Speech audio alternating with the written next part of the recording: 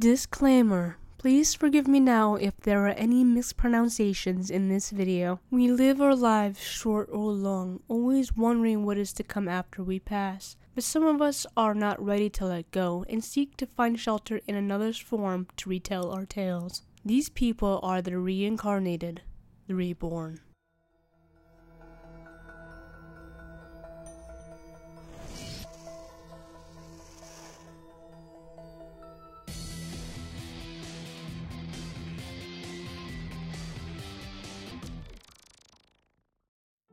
This reborn story is about a young Burmese girl named Ma Tin Aung Myo, but I will be calling her Tin Aung for short. Tin Aung was born in 1953 and was the youngest of four daughters. This pregnancy was different though, as her mother Dai Ah Tin dreamt the same dream on three different occasions. The same stocky Japanese soldier followed her, saying he would come and stay with her and her husband. He was wearing short pants and no shirt. She recognized him as an army cook that had had exchanged recipes with a few times before, but for some reason, she was afraid of him now, and told him not to follow her.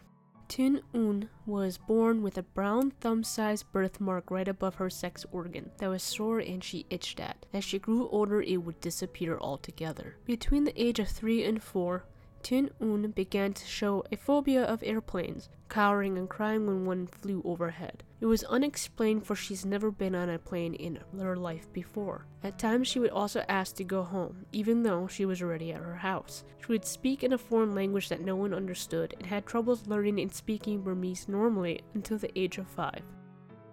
She would come to hate the hot climate of Burma. She liked eating fish, especially half raw, and she didn't care for the spicy Burmese food. Occasionally, she would voice a low opinion of other family members' competence in the kitchen, but was not allowed to cook herself. She would wear boy clothes, refusing to wear girl clothes to the point where she was dropped out of school at the age of 11 for not obeying the school rule to wear feminine attire. She also preferred to play with boys instead of other girls, and often it was sports. She had asked her parents to buy her toy guns, and she said she wanted to be a soldier when she grew up. After she was old enough to talk, she told her parents that she was a Japanese soldier from the northern part of Japan, who was stationed at No Hall during the war, where he was killed. At his time of death, he was wearing short pants and had taken off his shirt. Almost out of nowhere, a plane had shot him with a machine gun bullets. One of them struck his groin where her birthmark was. He died immediately. This also explains her fear of planes.